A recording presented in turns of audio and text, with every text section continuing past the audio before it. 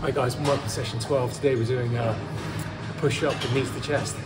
It's a great warm-up or workout in itself, working the chest, core, uh, hip flexors. It's a great um, body weight exercise so you can do it anywhere. Let's do a few more, come on.